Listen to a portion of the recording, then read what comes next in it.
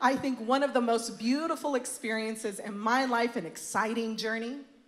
It's all about moving to a new space. How many love, uh, you know, just moving into a new home, a new apartment space, fresh carpet, the smell of a clean new house, fresh painted walls, and it's just brand new, unopened appliances. You were the first owner of that appliance. My favorite. Packing, not my favorite. Favorite, moving, packing, not so much. And so for me, when I'm um, packing, I don't mind packing the kitchen. I don't mind packing the girls' rooms. I don't mind the cleanup. But one of the things I cannot stand is going into my closet, AKA Pastor Sean's closet. And we've accumulated junk and we've accumulated stuff. And for me, I tend to kind of pare down, pare down to my bare essentials. And for Pastor Sean, it's a whole different ballgame. I think he's been collecting stuff since the 80s. And at some point, you have to just let it go, all right?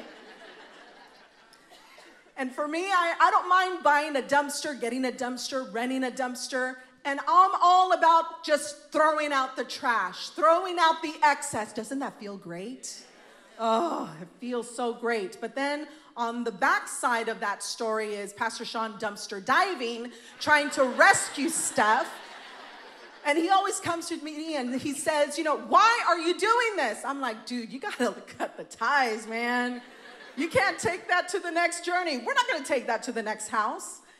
And so, for, for some of you to get you a peek into our closet, we're all a collector of jeans, okay? For me, I have my bare essentials. I have about maybe six pairs.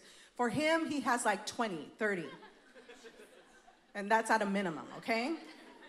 But for some of us, just like life, we tend to collect jeans. And for some of us, we tend to collect jeans that are like boyfriend jeans, you know? For some of you guys, you enjoy maybe the painter's jeans, the comfortable jeans, and just like life, you picked up relationships. Boyfriends, old relationships, old connections, one night stands. Mm-hmm. Oh, hashtag real talk today, all right? we're family, so we're gonna dive right in. So, just like relationships, these are comfortable, but they're not good for you. They're comfortable, but they won't take you to the next season. And so, with just like boyfriend jeans, some of us have gone through certain stages. Maybe you moved into a new neighborhood, maybe you have a new family experience. And so, just like crop jeans, they're trendy. You know, they're here for the moment, then gone the next season. It's not that it's bad, it's just for the moment, the connection, it's temporary. And so, it won't take you to the next season but they are a helpful bridge in between seasons. So some relationships are like crop jeans, but some other relationships are just like Pastor Sean's favorites. Oh, yeah, you know it skinny jeans.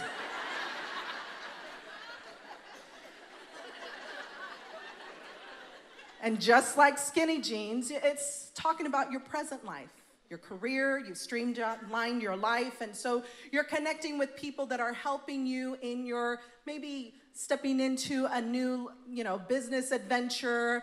Maybe you're an entrepreneur, maybe you're a restaurateur, and so um, you're, you know, handling relationships that are scratch my back and I'll scratch yours kind of relationships. They're temporary, but they're there. They're helpful, streamlined, but they help you in your career. And so you have a tendency for those kinds of jeans, but I know some of us have found Old Faithful. Oh, yeah boot cut. this is a timeless piece, just like our relationships. They have gone with us through time. And every season it just looks good. And with time it just gets better and better. They kind of weathered through stuff with you. They look good in photos. They kind of hug you in all the right places. And so for some of us, we've it's a tried and true pair. And many of our relationships we have tested some. They have been with us through the long haul, and they have been faithful to us. And today we're going to talk about relationships, hashtag safe people. Who are those safe people in your life? Are you a safe person? Can people's stories be trusted in your hands?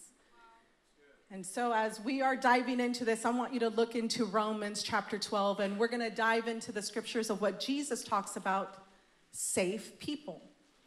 So, brothers and sisters, it says, do not be shaped by this world. Instead, be changed within by a new way of thinking. And your love, it must be real. I want you to hate what's evil, but hold on to what is good. Love each other like brothers and sisters. Give each other more honor than you want for yourselves. And wish good for those who harm you. Wish them well. And don't curse them. If someone does wrong to you, don't pay him back by doing wrong to him. Try to do what everyone thinks is right and do your best to live in peace with everyone. You see, my friends, don't try to punish others when they wrong you, but Wait for God to punish them with his anger, because it's written, I will punish those who do wrong. I will repay them, says the Lord. In other words, at the end of time, when our days come to an end, all of us will meet Jesus face to face, and we will have to account for all the words, all the relationships, the connections, and what we've done with his name. Let's continue. But you should do this, and this should be our reaction. He's in charge of revenge, He's in charge of anger. For us, this is our responsibility. If your enemy is hungry, feed him. If he is thirsty, give him a drink. And doing this will be like pouring burning coals on his or her head. You see, this this illustration is all about our enemies, our relationships, our connections. How do we deal with our connections? Especially in our small group season. Last week we talked about storytellers. This week we're diving into safe people. I think most of us don't have an understanding that we have a choice. We have a choice to share our space, space with other people that we feel safe with, that are sent from God that will add value to our lives and that will help us move us into our next space in place in Jesus. And most of us feel like we're held hostage by our old connections, that we have no choice, that because they were there when we were younger, that all of a sudden, because of their negativity, that you have to carry them on into your future. But let me show you, friends, what the scripture says about connections. I want you to start looking at Jesus' life in as we explain connections. You see, in his world, he had a crowd. People loved his message. People loved what he was all about. Oh, they came by the droves. In the thousands upon thousands, these were his actual fans. They admired him from afar, but when it came to commitment, they just couldn't go there. And then from the thousands, that he would draw the hundreds. And the hundreds, they would follow him, listen to him. And as soon as they heard the word, they would go back to their towns and begin to share the word with others. And then from the hundreds, he drew the 12. The 12 were his intimate guy pals, the ones, his road dogs, the ones that he could count on. And these were a bunch of misfits that that loved Jesus, that would go and do anything for him. And he approached them one by one and said, I want you to leave everything and then follow me. And that they did. And from the 12, you have the three his intimate circle, the circle of trust and it would be John, James, the elder. He was the older brother of Jesus. And there would be John, the youngest of the disciples. And he loved Jesus so much that you would see him in actual paintings and pictures. In some of the mosaics, John would lean across on, on Jesus' shoulder and they would capture him because in that position, he was like, This is my brother. This is whom I love.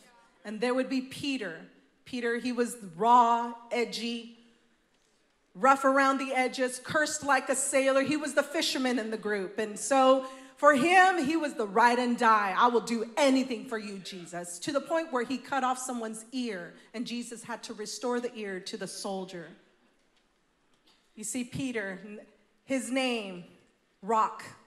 And Jesus would say, Upon this rock I will build my church, and the gates of hell will not prevail against it. So these were, these were his guys, his crew. We have his fans, you have the hundreds that were committed, and then the intimate 12, and then the three. But little did you know that Jesus had enemies too. And in the letter to the Romans, it would display this picture of, of people and hospitality. And little did you know that in the upper room, the Last Supper before he was actually crucified, Jesus had a meal with his friends. And right next to him, sharing and eating from the same plate, sharing the same cup, Judas, who would betray him, would drink from the same cup of Jesus. And eye to eye, shoulder to shoulder, conversations, face to face. No qualms about Judas. But there, Jesus would lean in and say, Whatever you have in your heart to do, go ahead and do it. And there, the scripture records that the devil entered Judas and he left the party. Hospitality. Why, why give something to eat to your enemies? Why give something to drink to those who have harmed you and hurt you? In Middle Eastern cultures, this would be a symbol of openness. If I invite you to the table, it would be a simple symbol of openness that you're welcome into my house. And Jesus is saying in the same breath, I want you to do this as I have done to my enemies. Why? In the same token, he would say it would be like burning hot coals on someone's head. I know many of you pride yourselves in being a grill master, but um, you have not met Dianna Nepstad. And I distinctly remember, like, for in our house, um, I bought a grill for Pastor Sean for Father's Day as a gift. He was really excited. Beautiful grill, I might say so. And um, because I was the one who gave it. And anyhow, side point, anyways, let's continue. Um, Pastor Sean, I would ask him, you know, go grill some steaks, go grill some chicken. He would be really excited, go back there, start grilling, and I would receive a massacred piece of meat. He was a little intimidated because he didn't want to get poisoned, like food poisoning with salmonella and all of that. And so I told him, don't worry about it. I'll, I'll take over from here. I had a good friend, a guy friend that came over and he showed me how to start a coal fire. And so, what you would do, and this would be kind of like the shortcut way because there's all kinds of gadgets now, you would pour the coal in, you would um, put kindling and newspaper, maybe um, smoking chips as you soak them in the water. You would combine all of them in there and you would light the fire. The fire would catch on to the coals and you would wait for the coals to turn this ashen white. And that would be a signal for you to go ahead and release the filter and the coals would be centered into the grill. And so, as it's centered into the grill, the dynamics or the science behind it is the, the mass of quantity, it would intensify the heat. So, it was centered in the middle. That's the most intense heat. The outskirts would be the cooler areas. Jesus is saying this like kindness, it's like burning hot coals on someone's head. The closer you get to the heat, the person becomes undone. They expected you to repay the favor. They expected you to hurt them like the way you hurt them. But if you show them hospitality, they would actually become undone, uncomfortable. It's almost like eating humble pie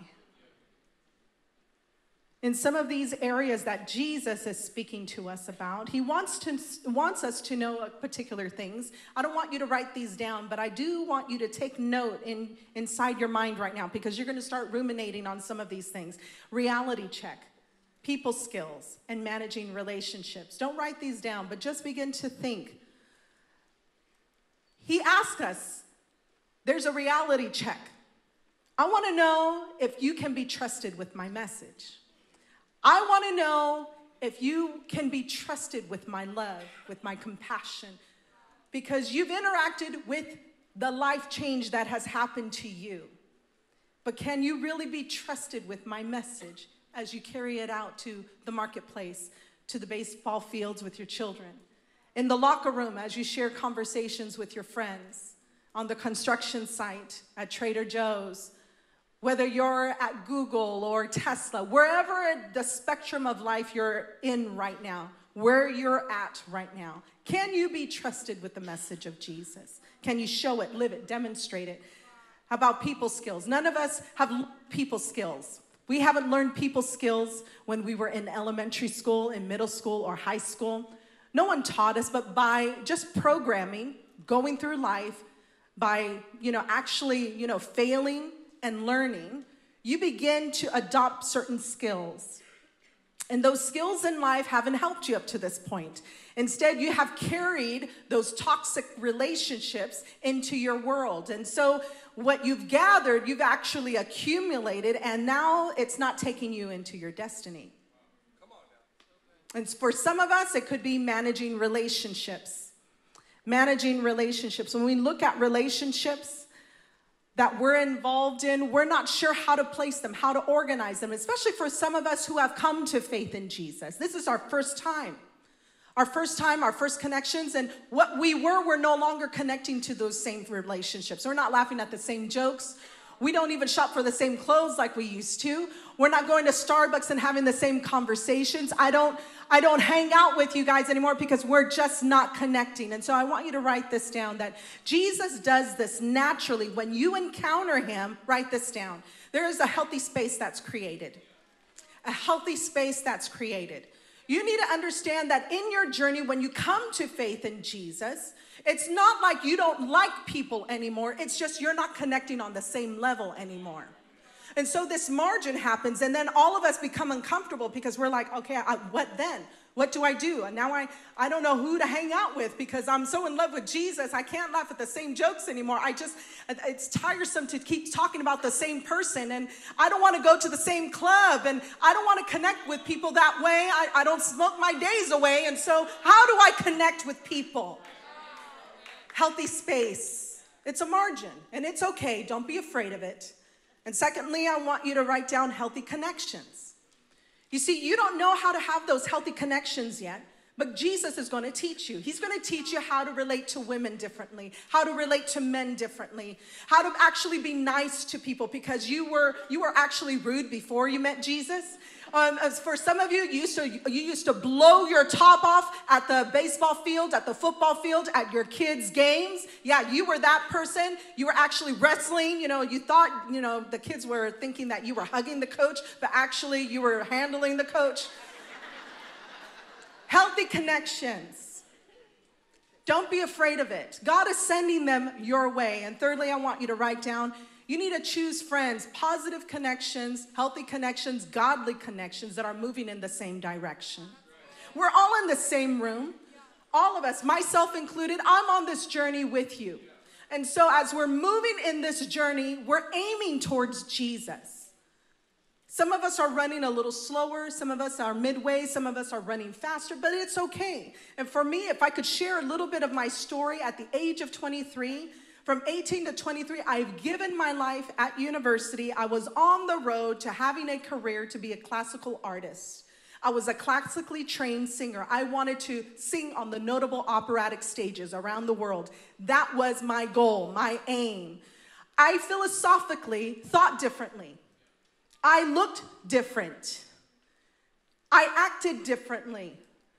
I would hang out at all the coffee shops with all of my artist friends and philosophize about life and what I thought about politics and what I thought about, you know, uh, actually being single. And I would smoke and drink my days away and then some, experimented on all levels. I had that kind of life. And when I encountered Jesus at 23, when I hit rock bottom of my life, my life drastically changed. I wasn't connecting to my friends like I used to. I didn't look the same. I didn't speak the same. All of a sudden, I was radically transformed by God Himself. His love overwhelmed my life. But there, let me say this, but for some of you, you're on that same path. Right now, there's a radical change that is happening to you, and you're like, I don't even where to be, know where to begin. And let me help you weather through and navigate and save you a lot of harm, save you a lot of time, save you a lot of broken hearts and energy, and investing the wrong kind of energy in the people that you shouldn't be connecting with.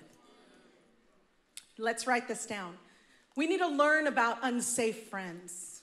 Unsafe friends. There's safe people and there's unsafe people. And most of us, we, we are hungry for connection. And so let me, let me show you what the scripture says. I have nothing to say. Me, I have nothing to say, but God has a lot to say.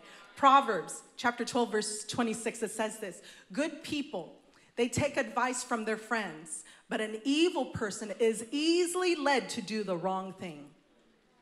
It's in, in their makeup. Wise people, if you're around them, you listen to their advice, you will be with wise people and make wise decisions. But for those of us who are bent on, on having our own opinion, we will go and follow our own wisdom, our own smarts about life, about relationships, and you will see them fail and fail and fall and fall and connect with the toxic same people. Childhood friends. Some of us have small ones at home, but maybe for some of you, you've been walking with your childhood friends all through adulting. And let me see this. Let's let's watch this together. Proverbs 28, 7. It says this: children who obey what they have been taught, they're wise. Parents speak up, show them, show your kids who to connect with. They you have wisdom, you've learned, you had a longer life, so show them. Let them know. You know what? There's something up with that. But watch this. It says the second part, but friends of troublemakers disgrace their parents. And we know them. We could spot the Bart Simpsons, right? we could spot the Sharpays of high school musical in every environment. It's like, sis, I don't know about that girl. She, she messy. What do you mean by messy, mom? No, she's into mess. How about the Eddie Haskells of Leave It to Beaver? Oh, you know, they smile on the front, but you know there's a whole hot mess behind that, right? Wow. Childhood friends, flattering friends. Oh, we've met them. There's some in some of our circles right now. I'm sure of it. Flattering friends, Proverbs 27 6, it says this Wounds from a sincere friend are better than many kisses from an enemy. You see, wounds, like if you go through a challenge in your relationship, the relationship is actually redeemable because you can take it. Your friends like that, their wisdom, it's valuable. They save you pain. Oh, but someone, someone who is not your friend, they don't have your best interest in mind, they will pacify you. Oh, that looks great. Those poor people on American Idol. Who told them? It's like you're wrong. Who are your friends? You need to break up with them. They're enablers, they're not good for you. They tell you things that are not helpful to you. Flattering friends. How about gossip friends? You've heard of Gossip Girl, Gossip Guys. Oh, it's not just one uh, on, on one side, one sex. Oh, they have them on both sides, female and male. Proverbs 16 28, it says this a useless person causes trouble, and a gossip ruins friendships.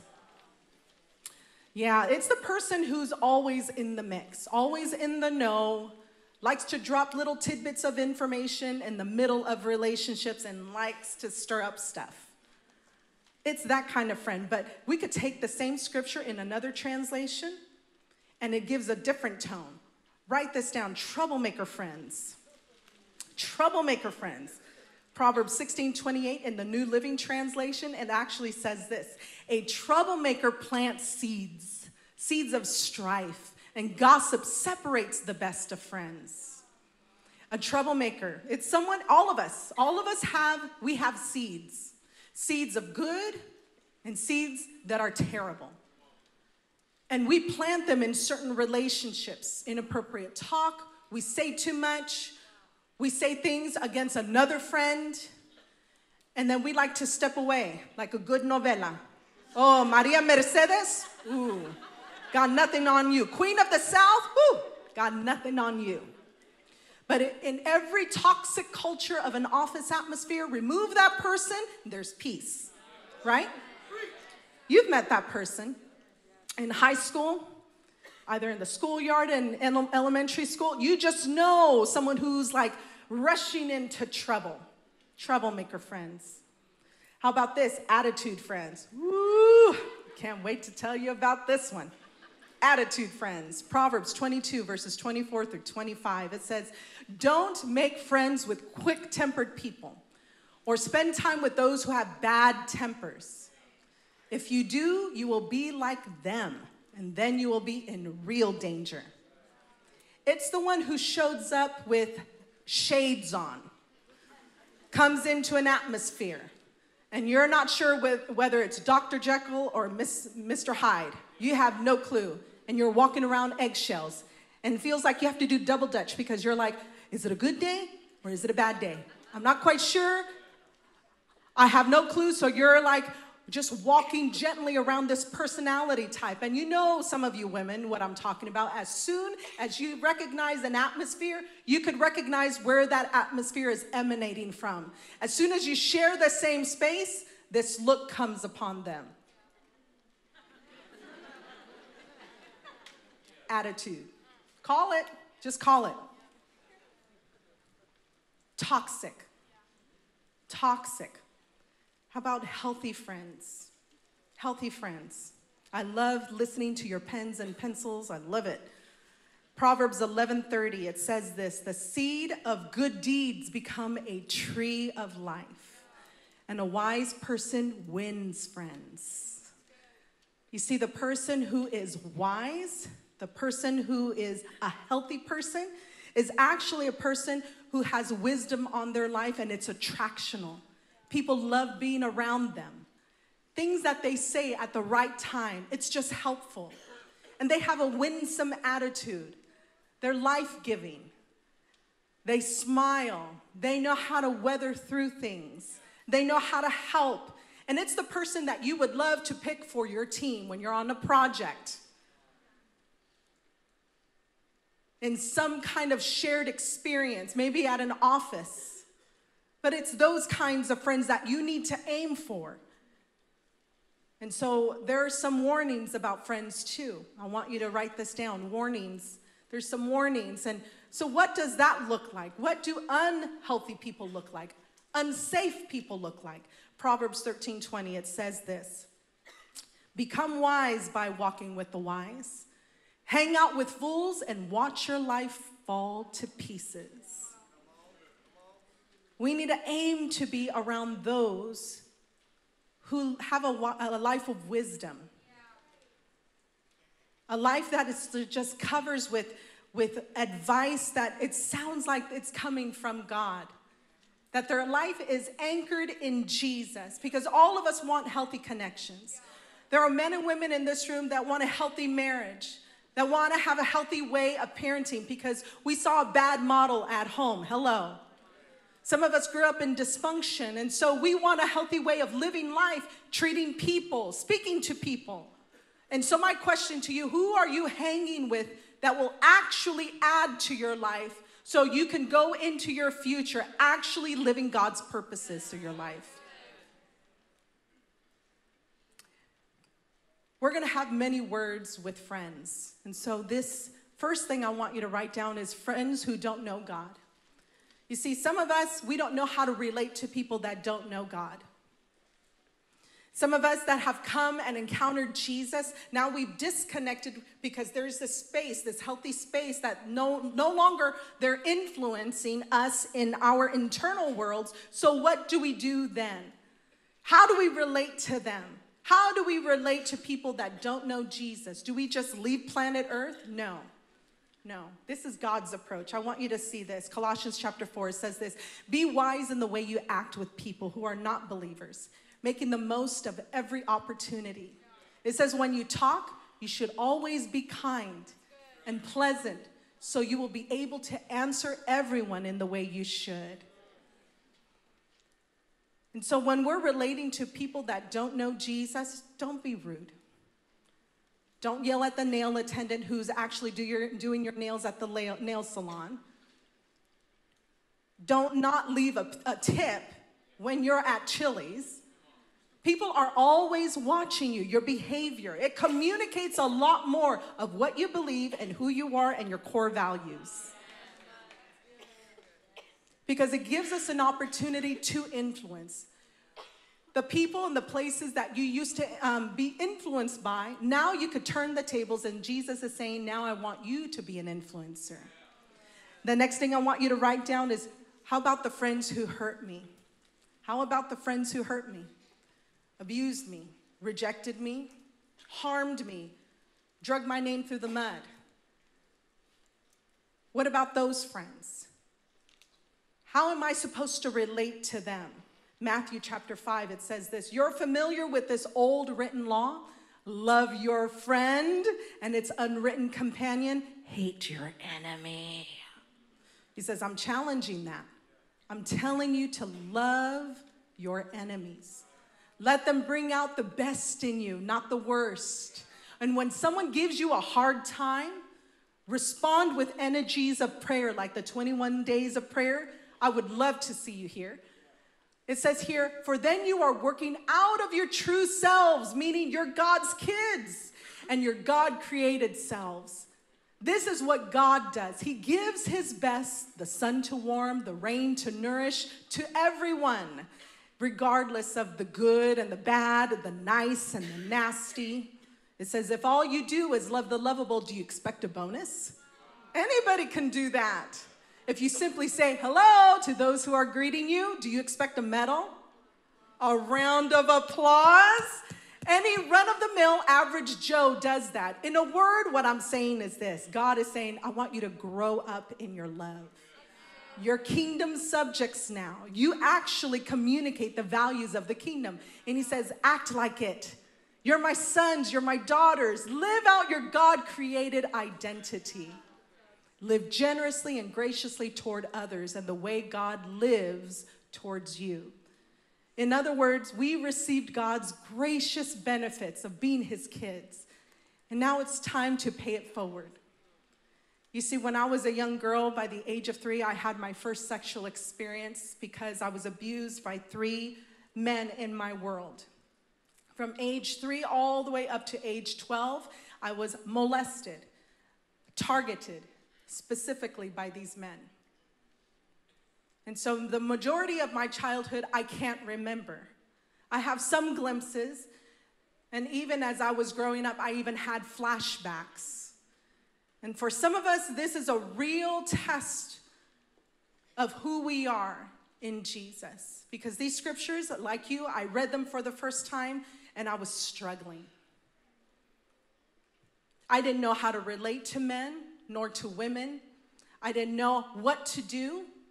And so I struggled with my pain, my anxiety, and there were other things that came out of that experience. And so by the age of 23, when I came to know Jesus, these things rocked my world. And so I didn't know how to how to walk through life with this pain. And when Jesus healed me, and when Jesus started to change my thinking, I began to share the space with some of these people. I confronted my, my abusers. Some of them told me straight to my face, You've ruined my life, thinking that I was going to keep their secret. But at that moment when I faced them, I said, I forgive you. Hardest thing I've ever done. All of them passed on. They're not here on planet Earth anymore. They're actually in the face of the Creator. And just because I shared the same space, it doesn't mean, and, and because I forgave them, it doesn't mean that I have trust with them again. Doesn't mean that they babysit my kids. But it does mean that I'm free.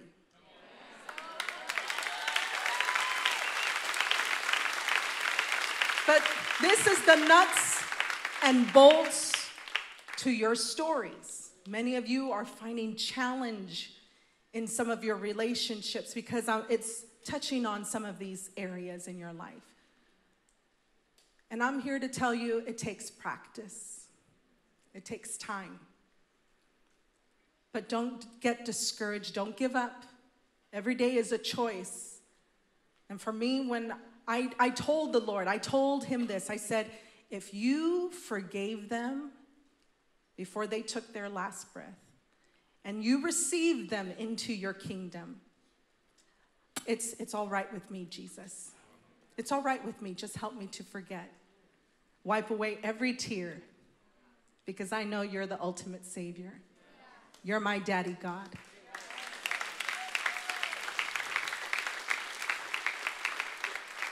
A real journey for some of us. It's not something light. For some of you men and women, this hits on certain chords, but God, in His loving kindness, He will walk with you in some of those spaces in your life. I promise you. He's faithful to you. I want you to write this down. When it talks about us being safe people, I want you to write down be a friend who refreshes others. Be a friend who refreshes others.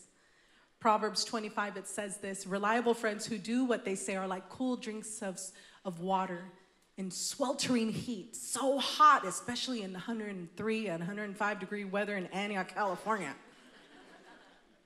It's refreshing. And this next scripture, Proverbs 25, 11 through 12, it says, The right word at the right time is like a custom made piece of jewelry.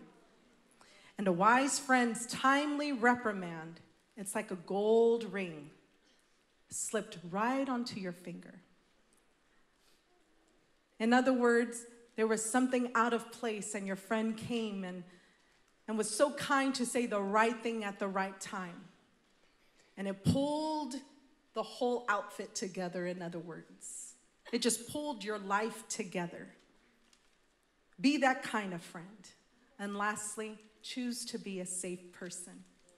Choose to be a safe person. This is my encouragement to you, for all of you. I want you to read these scriptures because it's Jesus' words. John 15, it says, I told you these things for purpose that my joy might be complete in you, and your joy wholly mature. This is my command that you love one another the way I have loved you. This is the very best way to love. Put your life on the line for others. You are my friends, and when you do the things that I command you, I'm no longer calling you servants because servants don't understand what their master is thinking, saying, writing up the blueprints. But no, he says, I've, I've named you friends because I've let you in on everything I've heard from the Father. And this last scripture, it says this, and this is Jesus. It says, Your love for one another will prove to the world that you are mine, my disciples, my kids, my son, my daughter. And as we're looking at managing relationships. Are we safe people or unsafe people? At some point, friends, we're going to have to live what the Bible teaches. You're going to have to actually read the Bible and actually do what the Bible says. And it doesn't happen overnight. Some of these skills take practice. Every day going to Jesus every day managing relationships. And for some of us, we have all of these relationships and we think that they go in the same box when we start doing life. But really, what God is saying to all of us is this I want to deal with your past. You see, some of your connections from your past, you actually have to deal with them. Because if you don't deal with them, they might tamper with your present. Some of your connections in the present are polluted because you keep bringing things from the past. If you don't deal with the past, you can't really have a future. Some of us have kept connections that are not good for us. And so we bring it into our present and we never engage with our future. They actually prevent us from the next step. And so we keep reinventing the wheel of connection. We keep practicing the same practices. And we keep living in the past. But what Jesus wants, he wants us to do is this deal with our past so we can actually have a healthy present so we can actually live into the future. But you have to decide who you want to bring in the journey.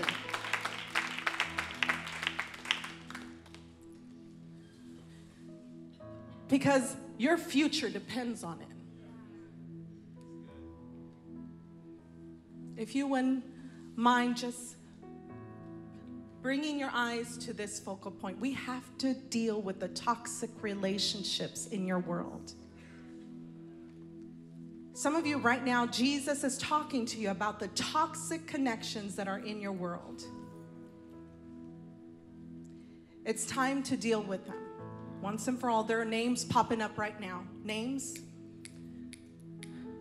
old boyfriends, the girl that keeps calling Friday night, where's that dress? It's a trigger for you. Maybe the tone that she has with you. Maybe for some of us, it's the rage. Maybe you shouldn't go to your kids' baseball games and football games. Maybe that's a trigger for you. Maybe for some of us, it's avoiding the locker room. For some of us, disconnecting. You could still be gracious, you could still be kind, but you can't connect like you used to. Let's go ahead and bow our heads and close our eyes.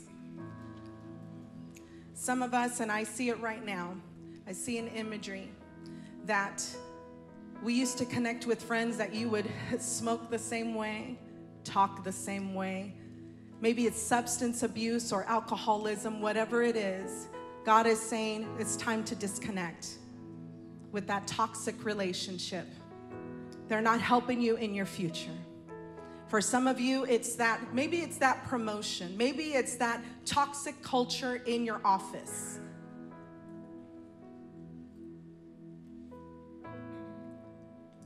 For some of us, it's maybe we need to pack our stuff and move out finally. Jesus, I pray right now that you give the people the empowerment to move on to the next step. Teach them and show them once and for all how to disconnect so they could go on to their future in Jesus' name.